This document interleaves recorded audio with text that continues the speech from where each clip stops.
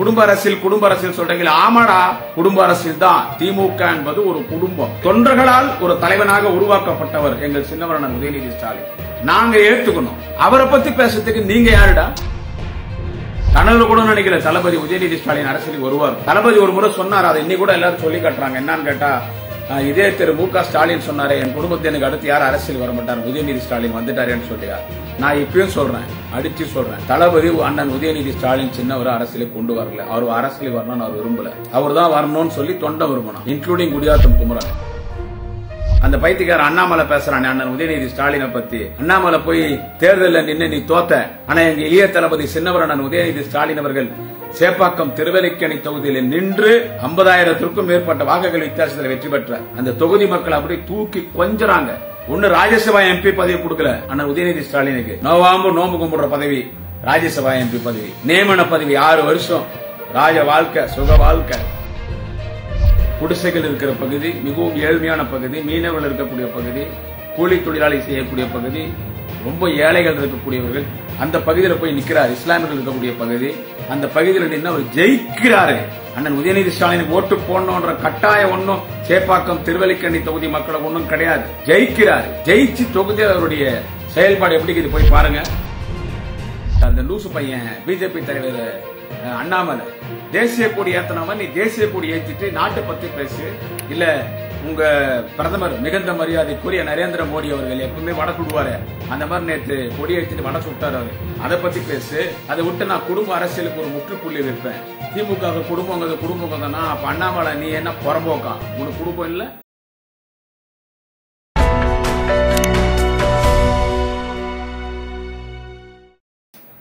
வணக்கம். அன்பார்ந்த சகோதர சகோதரிகளே ஒரு ரெண்டு சேனல் அந்த ரெண்டு சேனலுடைய பேரை நான் இங்க குறிப்பிட விரும்பல. அந்த வியாபாரி சவுக்கு சங்கரை வச்சு இந்த ரெண்டு சேனல் என்ன பண்றாங்கன்னு கேட்டீங்கன்னா தொடர்ந்து திராவிட முன்னேற்ற கழகத்தினுடைய இளைஞரணியினுடைய செயலாளர். எங்கள் ஆரோக்கிய அண்ணன் எங்கள் சின்னவர் எங்கள் எதிர்காலம். எங்கள் இளைய தளபதி அண்ணன் உதயநிதி ஸ்டாலின் எம்எல்ஏ. அவர்களை குறித்து விமர்சனம். அதாவது ஒரு மணி நேரம் அந்த ஒரு அந்த நேர்காணல் நடந்தா அந்த ஒரு மணி நேரம் அவங்க என்ன பேசுறாங்கன்னு கேட்டா அவங்க பேசுறது அண்ணன் உதயநிதி ஸ்டாலின் குறித்து மட்டும்தான். அண்ணன் உதயநிதி ஸ்டாலின் அப்புறமா மரியாதைக்குரிய அண்ணன் சபரீசன் குறித்து. அதாவது தலைவர் தளபதி குடும்பத்தை குறித்து. உதயநிதி ஸ்டாலின் அரசியல் என்ன பண்ணாரு? அவருக்கு என்ன தெரியும்? இப்படி தேவையில்லாத விமர்சனங்கள். இது எனக்கு நான் சேகரிச்சது என்னன்னு கேட்டா அவர் எப்படியெல்லாம் டேமேஜ் பண்ணலாம் இப்படியெல்லாம் டேமேஜ் பண்ணுங்கன்னு சொல்லி உக்காந்து ஒரு ஸ்கிரிப்ட் ரெடி பண்றாங்களாம். ஒரு ஸ்கிரிப்ட் ரெடி ஏன்னா திடீர்னு உக்காந்தெல்லாம் அவங்களுக்கு எல்லாம் பேச வராது. இப்ப நான் வந்து உக்காந்து உங்கள்கிட்ட பேச தினம் உங்களுக்கு சோசியல் மீடியாவில் உங்கள்கிட்ட பேசுறேன்னு கேட்டா நான் எந்த ப்ரிப்பரேஷன் நான் பண்றதில்ல. நான் இது வரைக்கும் ஆறு மாநாடு பேசியிருக்கேன். நான் எனக்கு ப்ரிப்பரேஷன் பண்ண எனக்கு தெரியாது. ஏனென்றால் நான் தலைவர் கலைஞரை பார்த்து பேச கற்றுக்கொண்டவன். தலைவர் தளபதியை பார்த்து பேச கற்றுக்கொண்டவன். அண்ணன் துரைமுருகன் போன்ற கட்சியினுடைய முன்னணி தலைவர்களை பார்த்து பேச கற்றுக்கொண்டவன். திடீர்னு பேசணும்னா ஒரு சப்ஜெக்ட் கொடுத்து பேசணும்னா எனக்கு தெரிஞ்சது நான் பேசுவேன். தப்பா பேச மாட்டேன். எல்லாரும் ஏத்துக்கிறதா நான் பேசுவேன். இப்ப இவங்க என்ன பண்றாங்கன்னா இந்த காமெடி நடிகர்கள்லாம் இருக்காங்க இல்ல இவங்க எல்லாம் இந்த காமெடிக்கு வரும்போது அவங்கள காமெடி ரெடி பண்ணி கொடுக்கறதுக்கு ஒரு அஞ்சு அசிஸ்டன்ட் டைரக்டர்ஸ் இருப்பாங்களாம்.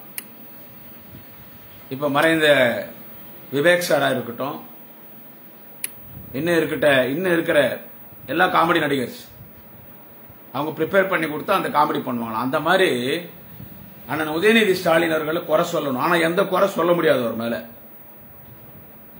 அவர் மேல எந்த குறை சொல்ல முடியாது. ஆனா ஏதாவது ஒரு டேமேஜ் பண்ணணும். சோசியல் மீடியால அண்ணன் உதயநிதி ஸ்டாலின் அவர்களை டேமேஜ் பண்ணணும். எப்படியெல்லாம் டேமேஜ் பண்ணலாம்? நான் சொல்லி உக்காந்து திரைக்கதை வசனம் எல்லாம் எழுதி அதை அந்த நெறியாளர்கிட்ட கொடுத்து ஆங்கர் கிட்ட கொடுத்து நீ இந்த கேள்வி கேளு. நீ இந்த கேள்வி கேட்டா நான் உனக்கு இப்படி பதில் சொல்றேன். அப்படின்னு சொல்லி ஒரு ரெண்டு மூணு சேனல் அதுக்கு அவங்க செலக்ஷன் பண்ணியிருக்கிறது யாரும் கேட்டா அந்த சவுக்கு சங்கரை ரெடி பண்ணி அவருக்கு அரசியல் என்ன ஏது எப்படி என்னன்னு. நான் அவங்களுக்கெல்லாம் ஒன்று சொல்றேன். நான் பல முறை சொன்ன செய்தி இது. ஏன்னா இப்ப ரெண்டு மூணு நாளா அவங்க அதான் பேசிட்டு இருக்காங்க. நான் உங்களுக்கு என்ன சொல்றேன்னா அவர் பிறந்தது திமுக குடும்பத்தில் தலைவர் தளபதியினுடைய பிள்ளை. தலைவர் தளபதியினுடைய பிள்ளை.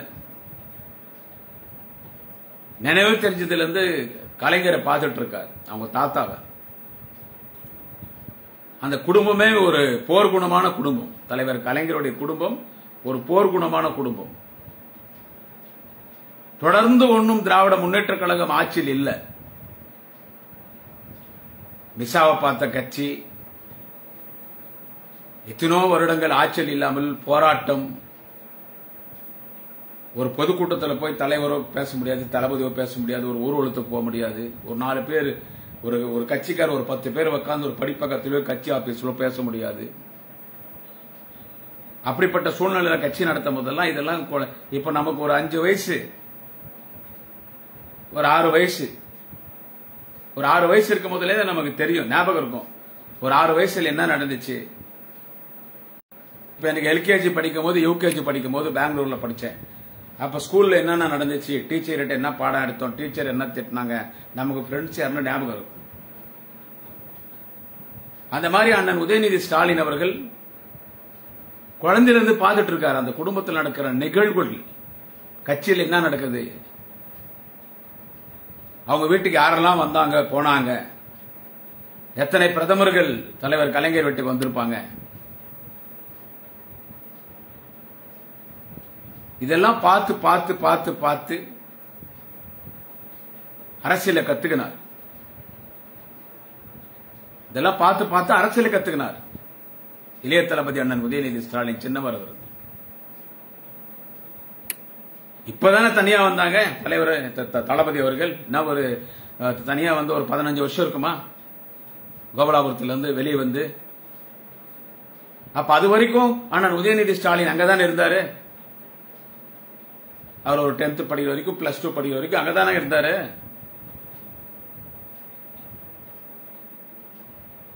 நமக்கே இவ்வளவு அரசியல் தெரியுதுன்னா கலைஞர் வீட்டிலே இருந்தவர். அப்ப அவருக்கு எவ்வளவு அரசியல் தெரியும்? அந்த அரசியல் எல்லாம் தெரிஞ்சு அவங்க அப்பா கூட தளபதி கூட போராட்டத்துக்கு போகும்போது போட்டோஸ் பல போட்டோஸ் நீங்க வந்து சோசியல் மீடியால பார்த்திருப்பீங்க. என்ன அவருக்கு என்ன ஒரு ஆறு வயசோ அஞ்சு வயசோ இருக்கும். கருப்பு சட்டை அணைந்து கொண்டு தலைவர் கலைஞர் அவர்களும் தளபதி அவர்களும் போராட்டத்திற்கு செல்லுகிறார்கள். அப்ப அண்ணன் உதயநிதி ஸ்டாலின் அவர்களை தளபதி தோல்ல சுமந்துன்னு போறார். கவுலாபுரத்துல அந்த கேட்டு வெளியே நிற்பாங்க அந்த போட்டோ இன்னைக்கு வரைக்கும் சோசியல் மீடியாவில் வருது. Still no we are seeing that photo in social media அது ஒரு வரலாறு. அந்த படம் ஒரு வரலாறு. அது எனவே பாலிடிக்ஸ்ல வந்துட்டு அவர் திடீர்னு வரல. பாலிடிக்ஸ்ல you LKG UKG first standard second standard third standard fourth fifth sixth seventh eight ninth tenth plus one plus two college degree PhD வரைக்கும் அரசியல் அந்த குடும்பத்திலிருந்து பார்த்துட்டு அதன் பிறகுதான் அவர் முரசூரி அறக்கட்டளை தலைவராக வராரு. அது எவ்வளவு பெரிய விஷயம் தெரியுமா? முதலமைச்சரா கூட இருந்துடலாங்க. இன்னைக்கு முதலமைச்சரா யார் வேணாலும் வரலாம். எதுக்கும் உதவாத எடப்பாடி பழனிசாமி நாலு வருஷம் முதலமைச்சரா இருக்குல்ல ஓ பன்னீர்செல்வம் முதலமைச்சரா இருக்குல்ல ஆனா முரசொலி என்கின்ற ஒரு திராவிட இயக்கத்தினுடைய முரசு. தலைவர் கலைஞர் பதினான்கு வயதில் கையேடு பத்திரிகையாக துவங்கினார் முரசொலியை. அந்த முரசொலியில் அறக்கட்டளையா இருந்து முரசொலி எப்படி டெவலப் பண்ணார் தெரியுமா? முரசு அவர் அண்ணன் உதயநிதி ஸ்டாலின் அவர்கள் முரசொலி அறக்கட்டளை தலைவராக வந்த பிறகு முரசொலியினுடைய சர்க்குலேஷன் என்ன தெரியுமா? இன்னைக்கு முரசொலி இன்னைக்கு முரசொலி எவ்வளவோ முன்னணி பத்திரிகை பாத்தீங்கன்னா பேர் சொல்ல விரும்பல. இவன் டு இங்கிலீஷ் பேப்பர்ஸ் கடையில போய் பார்த்தா பத்து பேப்பர் பதினஞ்சு பேப்பர் மீதி ஆயிருது ஆனா இன்னைக்கு முரசொலி பிரிண்ட் ஆகி வெளியே வருது கிடைக்க மாட்டேங்குது. நாட் ஓன்லி டிஎம்கே பீப்புள்ஸ் எல்லாரும் முரசொலி படிக்கிறாங்க. இன்னைக்கு முரசொலி எங்கேயோ போயிடுச்சு. அதற்கு காரணம் மிகுந்த மரியாதைக்குரிய எங்கள் சின்னவர் எங்கள் எதிர்காலம். அண்ணன் உதயநிதி ஸ்டாலின் அவர்கள் முரசொலியினுடைய அறக்கட்டளை தலைவராக வந்த பிறகு அவ்வளோ அவர் வந்த பிறகு முரசொலி எங்கேயோ போயிடுச்சு. அங்க உள்ள தொழில்நுட்பம் எல்லாமே மாற்றி அமைச்சார். ஒரு அவர் ஒன்னும் ஒரு ஒன்னும் ரெட் கேட் மூவிஸ் ஒரு சினிமாக்கார மட்டும் கிடையாது. அது ஒரு தொழில். அண்ணா கதவசனம் எழுதினவர் தான் சினிமாக்கு அண்ணா கதவசனம் எழுதினவர் தான். அண்ணா நாடகத்தை நடிச்சவர் தான் நாடகத்தை கதைவசனம் எழுதினவர் தான். தலைவர் கலைஞர் பராசக்தியில தொடங்கி எத்தனை படத்துக்கு கதைவசனம் எழுதியிருக்காரு எல்லா படம் பிச்சுன்னு போச்சு. இன்னைக்கு ரிலீஸ் ஆகிற படம்லாம் பத்து நாள் ஒன்னா பெரிய விஷயம். தொடர்ந்து முதலமைச்சர் இருந்த எம்ஜிஆர் யார்? சினிமா நடிகர். ஜெயலலிதா யார்? சினிமா நடிகர். சினிமா என்பது ஒரு தொழில் அவ்வளவுதான். எல்லா எந்த அரசியல் கட்சிக்காரர் இருந்தா யாரா இருந்தாலும் அவங்களுக்கு ஒரு தொழில் இருக்கணும். அது ஒரு தொழில். அதை தாண்டி அவர் இளைஞரணி செயலாளராக வருவதற்கு முன்பே எத்தனை நிகழ்ச்சிகளிலே அவர் சென்னையிலும் வெளியிலும் கலந்து கொண்டு கழக நிகழ்ச்சியிலே கலந்து கொண்டிருக்கிறார். யதார்த்தமாக பேசக்கூடியவர் எல்லோரிடத்திலும் எளிமையாக பழகக்கூடியவர் எல்லாவற்றுக்கும் மேலாக எங்களை போன்ற லட்சக்கணக்கான தொண்டர்கள் நாங்கள் அவரை ஏற்றுக்கொண்டோம். அதன் பிறகுதான் இளைஞரணி செயலாளர். கனவுல கூட நினைக்கிற தளபதி உதயநிதி ஸ்டாலின் அரசியலுக்கு வருவார் தளபதி ஒரு முறை சொன்னார் அதை இன்னி கூட எல்லாரும் சொல்லி காட்டுறாங்க. என்னன்னு கேட்டா இதே திரு மு க. ஸ்டாலின் சொன்னாரே என் என் குடும்பத்தை எனக்கு அடுத்து யாரும் அரசியல் வர மாட்டார். உதயநிதி ஸ்டாலின் வந்துட்டாரேன்னு சொல்லியார் நான் இப்பயும் சொல்றேன் அடிச்சு சொல்றேன். தளபதி அண்ணன் உதயநிதி ஸ்டாலின் சின்னவர் அரசியலுக்கு கொண்டு வரல. அவர் அரசியலுக்கு வரணும்னு அவர் விரும்பல. தொண்டை விரும்பணும். அவர் வரணும்னு தொண்டை விரும்பணும். அவர் தான் வரணும்னு சொல்லி தொண்டை விரும்பணும். இன்க்ளூடிங் குடியாத்தம் குமரன். குடியாத்து குமரன் சொல்றேன்னா நான் ஒரு கடைகோடி தொண்டன். என்னை போன்ற லட்சக்கணக்கான தொண்டன். விரும்பி வலுக்கட்டாயமாக வரலன்னா இன்னும் கயிறு போட்டு இழுத்துன்னு வருவாங்கன்னு சொல்லுவாங்க பாருங்க. அந்த மாதிரி கயிறு போட்டு நாங்க அவர் இழுத்துன்னு வந்தோம் அரசியலுக்கு. அண்ணன் உதயநிதி அண்ணன் உதயநிதி ஸ்டாலின் அவர்களை. இளைஞரணி செயலாளர்னு பொறுப்பு கொடுத்த பிறகு சும்மா அப்படியே பத்துக்கிச்சு அப்படியே இளைஞரணி அவருடைய அணுகுமுறை தேர்தல் நேரத்தில் அவருடைய பிரச்சாரம். அவன் அண்ணாமலை அந்த பைத்தியக்காரன் அண்ணாமலை பேசுறான் அண்ணன் உதயநிதி ஸ்டாலினை பத்தி. அண்ணாமலை போய் தேர்தலில் நின்று நீ தோத்த. ஆனா எங்க இளைய தளபதி சின்னவர் அண்ணன் உதயநிதி ஸ்டாலின் அவர்கள் சேப்பாக்கம் திருவல்லிக்கணி தொகுதியில் நின்று ஐம்பதாயிரத்திற்கும் மேற்பட்ட வாக்குகள் வித்தியாசத்தில் வெற்றி பெற்றார் அந்த தொகுதி மக்கள் அப்படி தூக்கி கொஞ்சறாங்க. ஒன்னு ராஜ்யசபா எம்பி பதவி கொடுக்கல அண்ணன் உதயநிதி ஸ்டாலினுக்கு. நோவாம்பு நோம்பு கும்பிடுற பதவி ராஜ்யசபா எம்பி பதவி. நியமன பதவி ஆறு வருஷம். ராஜ வாழ்க்கை சுக வாழ்க்கை. குடிசைகள் இருக்கிற பகுதி மிகவும் ஏழ்மையான பகுதி மீனவர்கள் இருக்கக்கூடிய பகுதி கூலி தொழிலாளி செய்யக்கூடிய பகுதி ரொம்ப ஏழைகள் இருக்கக்கூடியவர்கள். அந்த பகுதியில் போய் நிற்கிறார் இஸ்லாமியர்கள் இருக்கக்கூடிய பகுதி. அந்த பகுதியில் நின்று அவர் ஜெயிக்கிறாரு. அண்ணன் உதயநிதி ஸ்டாலின் ஓட்டு போடணுன்ற கட்டாயம் ஒன்றும் சேப்பாக்கம் திருவல்லிக்கண்ணி தொகுதி மக்களுக்கு ஒன்றும் கிடையாது. ஜெயிக்கிறார். ஜெயிச்சு தொகுதியில் அவருடைய செயல்பாடு எப்படி இருக்குது போய் பாருங்க. தேர்தல் நேரத்தில் அவருடைய பிரச்சாரம் நாங்க நாங்க பார்லிமெண்ட் எலெக்ஷன்ல நாங்க ஜெயிச்சோம்னா அதுக்கான உதயநிதி ஸ்டாலினுடைய பிரச்சாரமும் ஒரு காரணம். எம்எல்ஏ எலெக்ஷன்ல நாங்க ஜெயிச்சோம்னா அதுக்கான உதயநிதி ஸ்டாலின் அவருடைய பிரச்சாரமும் ஒரு காரணம். எத்தனோ தலைவர் புள்ள அரசியல் இருக்கிறாங்க. எம்பி ஆவாங்க எம்எல்ஏ ஆவாங்க ஜாலியா இருப்பாங்க. களத்துக்கு வர மாட்டாங்க ரோட்டுக்கு வர மாட்டாங்க. ஆனால் அண்ணன் உதயநிதி ஸ்டாலின் களத்துக்கு வந்தார் ரோட்டுக்கு வந்தார் இன்னைக்கு வரைக்கும் இன்னைக்கு வரைக்கும் வீதிக்கு வராரு. தொண்டர்களிடம் மன்னர் உதயநிதி ஸ்டாலினோட அணுகுமுறை அருமையா நன்றாக இருக்கிறது. அதனால் நாங்க ஏத்துக்கணும். தளபதி ஒன்றும் தளபதியோ தலைவர் தளபதியுடைய குடும்பத்திலோ எங்கள் சின்னவர் எங்கள் எதிர்கால மன்னர் உதயநிதி ஸ்டாலின் அவர்களை ஒன்றும் திணிக்கல. என் புள்ளி அரசியல் நாங்க கட்சியில இளைஞரணி சிலரை கொடுத்துட்டு ஏத்துக்கணும் தான் ஆவணம்னு ஒன்னும் சொல்லல. நாங்க தான் போய் போர்ஸா அவரை கூட்டின்னு வந்தோம். நாங்கன்னு சொன்னா நாங்கன்னு சொன்னா லட்சக்கணக்கான திராவிட மன்னிக்க வேண்டும். கோடிக்கணக்கான திராவிட முன்னேற்ற கழகத்தின் உடன்பிறப்புகள். இன்னைக்கு அவருடைய செயல்பாடு நல்லா இருக்கு. அவர் பழகிறதே தொண்டங்கூட தான். தலைவர் கூட எல்லாம் கிடையாது. கீழே இறங்கி வந்து தொண்டங்கிட்ட பழகுறாரு. கீழே இறங்கி வந்து தொண்டங்கிட்ட பழகுறாரு. எனவே தொண்டர்களால் ஒரு தலைவனாக உருவாக்கப்பட்டவர் எங்கள் சின்னவரணன் உதயநிதி ஸ்டாலின். நாங்க ஏத்துக்கணும். அவரை பத்தி பேசுறதுக்கு நீங்க யாருடா? எங்க கட்சி? இது எங்க கட்சி? திமுக எங்க கட்சி? குடும்ப அரசியல் குடும்ப அரசியல் சொல்றீங்களா ஆமாடா. குடும்ப அரசியல் தான். திமுக என்பது ஒரு குடும்பம். அவன் அந்த இவன் அந்த அந்த லூசு பையன் பிஜேபி தலைவர் அண்ணாமலை. தேசிய கொடி ஏத்தனவன் நீ தேசிய கொடி ஏத்திட்டு நாட்டை பத்தி பேசு. இல்ல உங்க பிரதமர் மிகுந்த மரியாதைக்குரிய நரேந்திர மோடி அவர்கள் எப்பவுமே வடை சுடுவாரு. அந்த மாதிரி நேற்று கொடி ஏற்றிட்டு வடை சுட்டாரு அவரு. அதை பத்தி பேசு. அதை விட்டு நான் குடும்ப அரசியலுக்கு ஒரு முற்றுப்புள்ளி வைப்பேன். திமுக குடும்பங்கிறது குடும்பம் அப்ப அண்ணாமலை நீ என்ன புறம்போக்கா? உனக்கு குடும்பம் இல்ல? பிஜேபி உனக்கு எல்லாம் எவனுக்கு குடும்பம் இல்ல?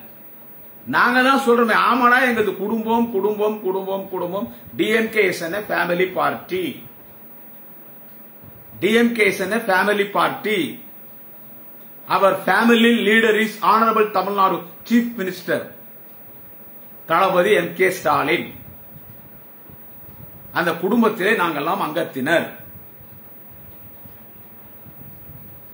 என் குடும்பத்தில் யாருக்கும் முக்கியத்துவம் கொடுக்க வேண்டும் என்று நான் முடிவெடுக்க வேண்டும். குடும்பத்தில் இருக்கக்கூடிய குடும்பத்தின் அங்கத்தினர் நான் முடிவெடுக்க வேண்டும். அதுல நாங்க எங்க அடுத்து எங்க சின்னவர் இளைய தளபதி உதயநிதி ஸ்டாலின் நாங்க முடிவு பண்ணியாச்சு. அதை கேட்கறது நீங்க யாரா? அதை கேட்கறது நீங்க யாரு? என் கட்சி. இளைஞரணி செயலாளரா வாங்கன்னு கூப்பிட்டோம். கட்சி தொண்டனுடைய வேண்டுகோளுக்கு மரியாதை கொடுத்து அவர் வந்தாரு. வந்துட்டு உழைக்கிறாரு.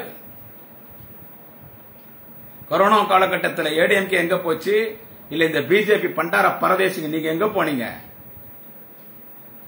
திராவிட முன்னேற்ற கழகத்தின் இளைஞரணியும் அவருடைய நற்பணி மன்றமும் தமிழ்நாடு முழுக்க எத்தனை லட்சம் லட்சம் குடும்பங்களுக்கு உதவி பண்ணியிருப்பாங்க. நாங்க எதிர்க்கட்சி ஆளுங்கட்சியில கூட இல்ல சொந்த பணத்துல யார்ட்டையும் வசூல் பண்ணல. அதை செய்தவர் எங்கள் இளைய தளபதி சின்னவர் அண்ணன் உதயநிதி ஸ்டாலின். அவர் மேடையில பேசுறது பத்தியா? மேக்னெட்டிக்கல் ஸ்பீச்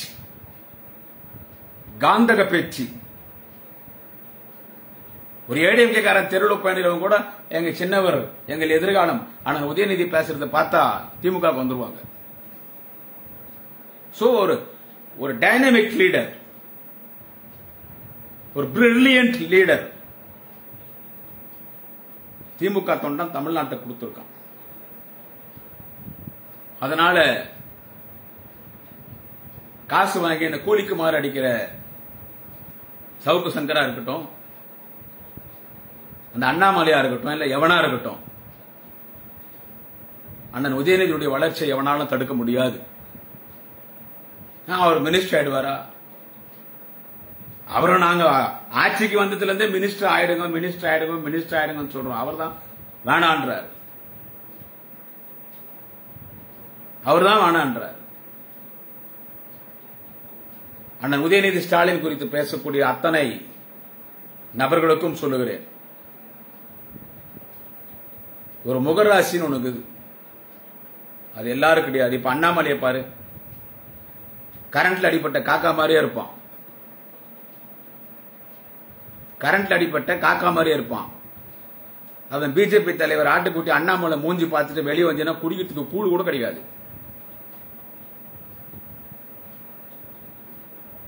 காலத்தின் கட்டாயம் வேற வழி இல்லாம ஏதோ இந்த கேரம் போர்டு ஆட தெரியாதவன் சும்மா ஸ்ட்ரைக்கர் அடிப்பான். அவனுக்கு ஆட தெரியாது. ஸ்ட்ரைக்கர் அடிப்பான். அடிச்ச உடனே அது ஒரு குருட்டடியில என்ன ஆகும்னா ஒரு பக்கம் போய் ரெட் காயின் விழுந்துரும் ஒரு பக்கம் போய் பிளாக் காயின் விழுந்துரும். குருட்டடி அது ஜெயிச்சிருவான். அந்த மாதிரி தான் எடப்பாடி பழனிசாமி சிஎம் ஆனது ஓபிஎஸ் சிஎம் ஆனது. ஆனால் எங்கள் தளபதி முறைப்படி ஐம்பது ஆண்டு காலம் உழைத்து அந்த பதவிக்கு வந்திருக்கிறார் மக்கள் அந்த பதவியில் அமர வைத்திருக்கிறார். அதே போல்தான் எங்கள் சின்னவர் எங்கள் இளைய தளபதி எங்கள் எதிர்கால மன்னன் உதயநிதி ஸ்டாலின். அவர் அரசியலில் அவருக்கு பக்குவம் வந்து கொண்டே இருக்கிறது. அவருடைய பேச்சிலே தெரியும். அவருடைய அணுகுமுறையிலே தெரியும். அதனால அவங்க உதயநிதி பத்தி பேசுறாங்க. இல்ல அத்தனை பேருக்கு நான் சொல்றேன். அடுத்தெல்லாம் வேற எந்த கட்சியெல்லாம் ஆட்சி இல்ல. திமுக தான் ஆட்சி. எதிர்காலத்தில் எங்கள் தளபதி எங்கள் சின்னவர்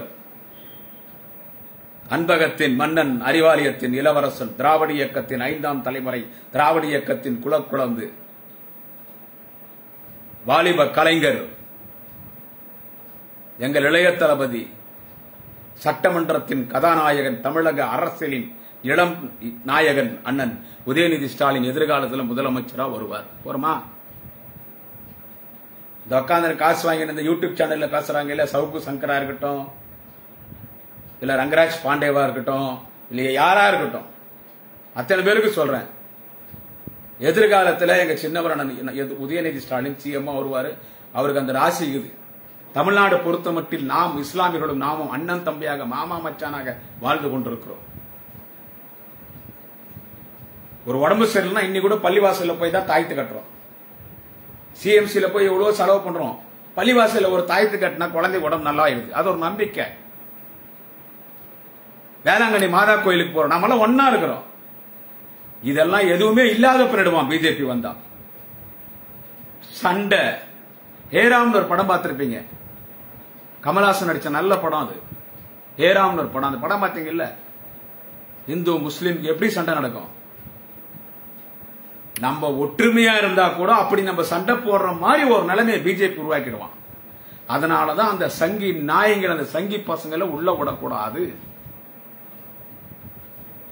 அதனாலதான் அவன் இந்தி அவன் வந்து அந்த குடியுரிமை சட்டத்தை கொண்டு வந்தான் பாருங்க அவன். முஸ்லிம்களை எதிர்க்க வேண்டும் என்கின்ற ஒரே ஒரு காரணத்தால் இந்திய அதெல்லாம் அவன் கொண்டு வந்ததுக்கு காரணமே என்னன்னு கேட்டா இந்த நாடு வந்து முழுக்க முழுக்க இது ஒரு இந்துக்கள் நாடாக இருக்க வேண்டும். அதை தளபதி எதிர்த்த இந்துக்கள் நாடா அதாவது இந்துக்களுக்கு இங்க யாருமே எதிரி இல்ல. உங்க கூட பேசினுக்கிற Gudiyattam Kumaran I am pure Hindu I man pure Hindu நான் ஹிந்து என்று சொல்வதிலே எனக்கு பெருமை. I feel proud to say that I Hindu ஆனா அதே நேரத்தில் எனக்கு இஸ்லாமியன் எனக்கு விரோதி இல்லை. அவன் என் அண்ணன் தம்பி மாமா மச்சான். கிறிஸ்தவன் யாரு? என்ன எல்லாம் வந்து பெத்தலஹேம்ல இருந்து வந்து இங்க உச்சிட்டாங்களா? எப்பயோ மதம் அவங்க. அவன் நம்பிக்கை. அவன் சர்ச்சுக்கு போறான் நான் கோயிலுக்கு போறேன் அவன் பள்ளிவாசலுக்கு போறான். இதெல்லாம் எதுவுமே இருக்காம நாடு கலவர பூமி ஆயிடுங்க ரத்தம் ரத்த ஆறா ஓடும். ஜாதி சண்டை நடக்கும். எனவே இதெல்லாம் நடக்கக்கூடாதுன்னு சொன்னா அந்த சங்கி பசங்களை இந்த மண்ணில் அவனுங்களை விடக்கூடாது. அவனுங்களை அடிச்சு விரட்டணும். அதுக்குத்தான் தலைவர் தளபதி போராடி கொண்டிருக்கிறார். அதற்கு அடுத்து ஒரு இளைய தலைவனை உருவாக்க வேண்டும் என்று சொன்னால் அதுதான் அண்ணன் உதயநிதி ஸ்டாலின். அதனால்தான் இந்த திராவிட இயக்க பாசறை. இதெல்லாம் நடத்தணும். நான் இவ்வளவு சொல்றதுக்கு காரணம் இவ்வளவு நான் பேசுறதுக்கு காரணம் என்னன்னு கேட்டா அண்ணன் உதயநிதி பத்தி இவனுங்கெல்லாம் இவ்வளவு பேசுறானுங்களே. அண்ணன் உதயநிதி வந்துட்டா எதிர்காலத்துல இவனுங்க காலி பிஜேபி கொடி ஒரே ஒரு குப்பை தொட்டில கூட பறக்காது. அண்ணன் உதயநிதி ஸ்டாலின் வந்துட்டா. அதனாலதான் இவனுங்க இவ்வளவு விமர்சனம் பண்றாங்க. எனவே நாம் இளைஞர்கள் ஒரு விழிப்புணர்வோடு இருக்க வேண்டும் என்பதற்காகத்தான் இந்த பதிவு விடைபெறுகிறேன். நன்றி வணக்கம். வாழ்க தலைவர் தளபதி வாழ்க சின்னவர் எதிர்காலம். அண்ணன் உதயநிதி ஸ்டாலின் குடியாத்தம் குமரன்.